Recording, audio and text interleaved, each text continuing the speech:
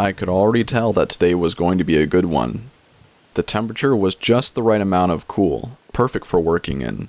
The morning was calm and the skies were clear. My newly purchased Massey 35 tractor sat at the ready. I was eager to put in a good day's work with it.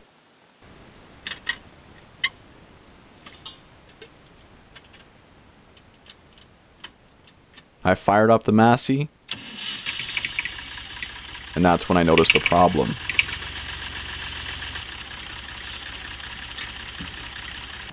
You see, there's a small pinhole on the underside of the tractor, between the transmission and the engine housing. This pinhole, although inconspicuous, has an extremely important purpose. It's also known as the tattletale hole. If it's leaking, that means there's a bigger problem going on inside the tractor. Since it was leaking oil, as opposed to transmission fluid, I knew that the rear main seal had probably let go. In this clip, it's only dripping a little bit, but after I had turned the camera off, the oil began to stream out. Not good. To replace the main seal, the tractor will need to be split. I wish that was just a figure of speech, but it's not. The front half of the tractor will need to be unbolted from the rear end and then pulled apart, so that the seal can be accessed. This is a major repair. At the moment, my Massey is in the shop, waiting to be pulled apart. Needless to say, I didn't get to use the tractor. Remember how I said that today was going to be a good one? Scratch that. However, it's tree felling season for me, and so I can't afford to sit this one out. I just have to find a way to cope without the tractor. So I loaded up the wheelbarrow with my tools and pushed it as far as the forest's interior would allow me to go.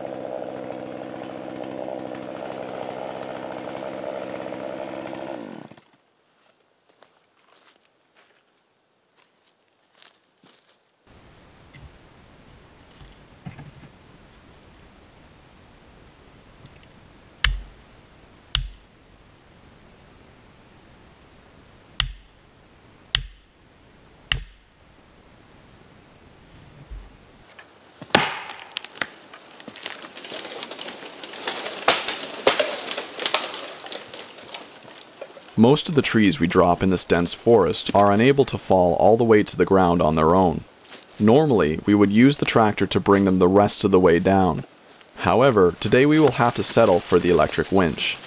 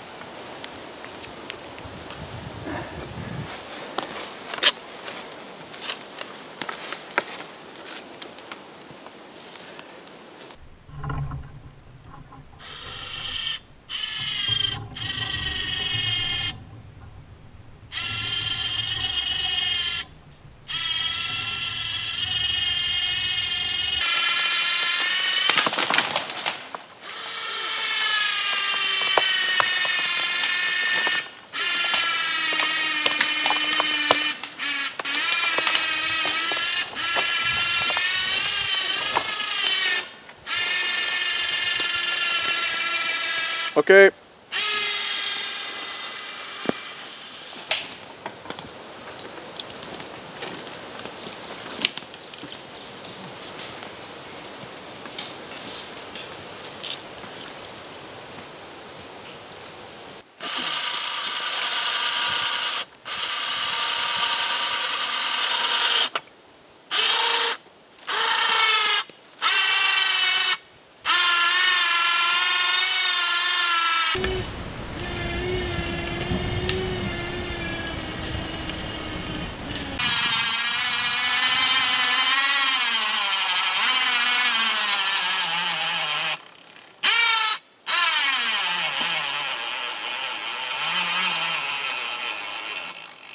Bring in the, the frame to get it up and over that bump there. Unfortunately, the winch exhausted its battery while pulling only the second tree of the day. We figured this might happen, and so we came prepared with my homemade tree puller frame. We initially used the frame to help give the electric winch a bit more leverage. We hoped that we could use the last of the battery's power to pull the base of the tree over a slight rise in the ground.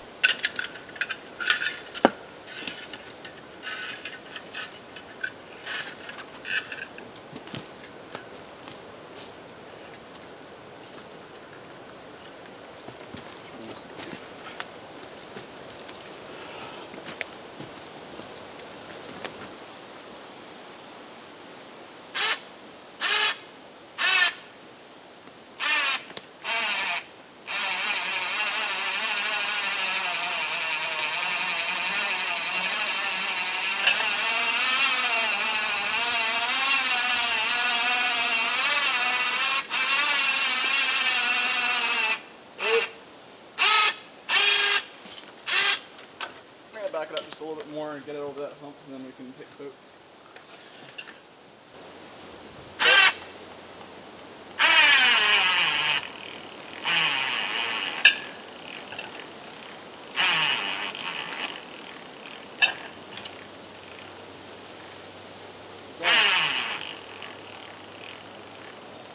Going.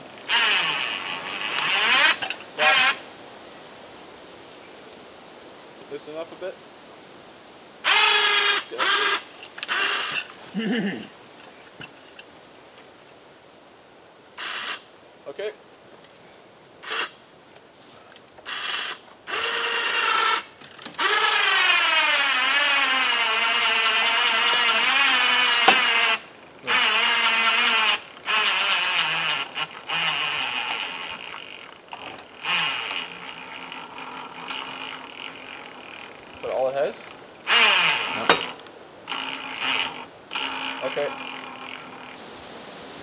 battery was fully charged this morning.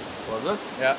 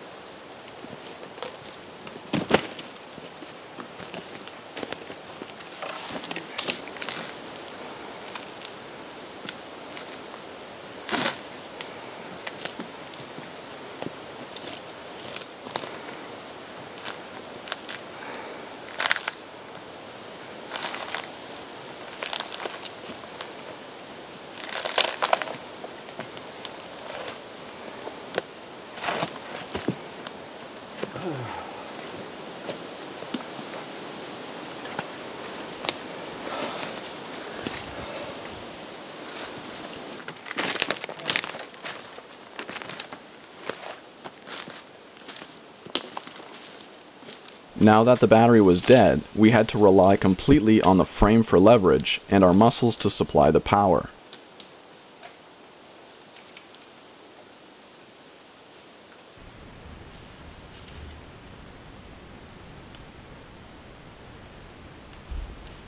As you can see, I built this frame as a kind of lever, which effectively multiplies our pulling power. Essentially, we are increasing our pulling distance in exchange for increased pulling power.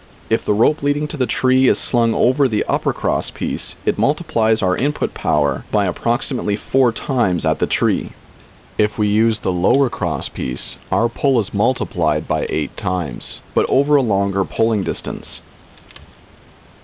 Sometimes, I'm not even sure why we cart the electric winch around with us. My homemade tree puller is easier to carry, faster to set up, and just about as fast to use.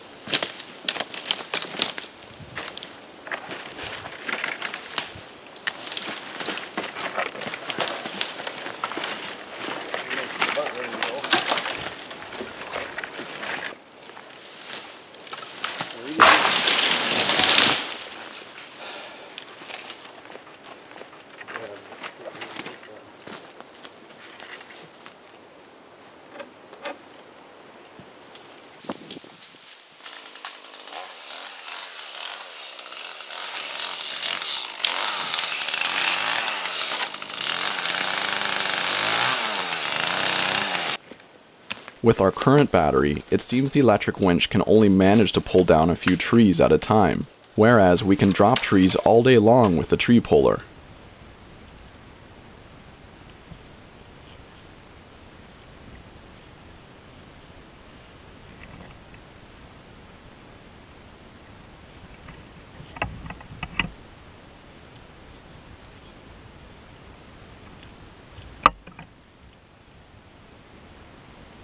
Another advantage of the tree puller is that it lifts the load a little bit with every pull. This decreases drag, and it also assists in lifting the tree over obstacles, like this rock.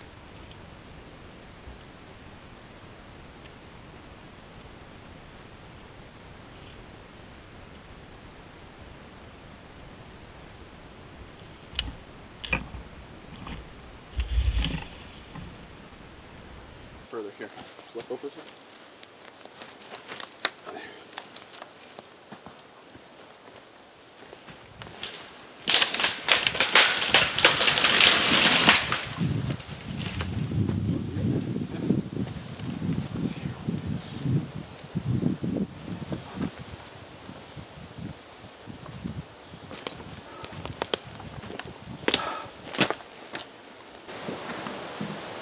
I continued working on my own for a while, that is, until the weather began to deteriorate.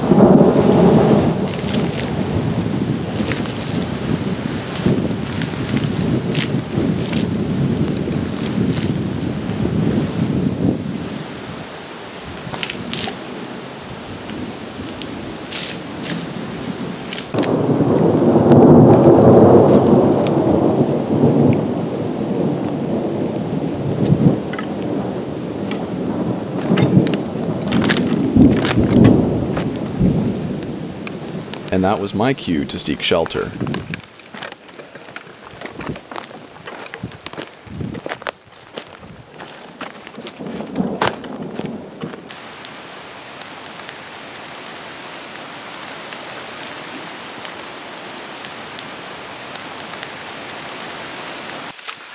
Well, it wasn't the kind of day I was hoping for, but with the help of my dad, we managed to work well with the poor hand that we'd been dealt, and that was good enough for me. Later, I returned with my dad and brother to move some planks onto the cabin base.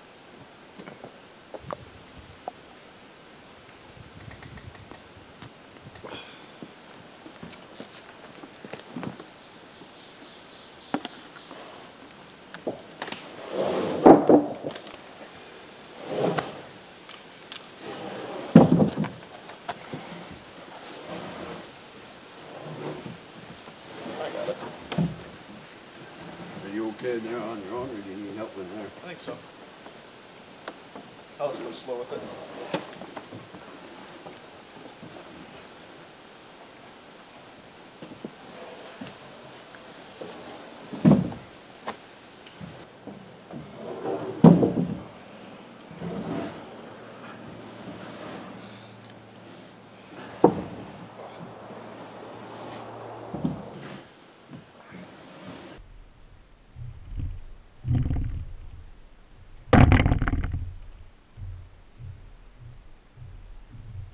Although I won't be fastening the two and a quarter inch boards down just yet, I wanted to have a temporary floor in place to prevent us from accidentally falling between the joists while working on the cabin.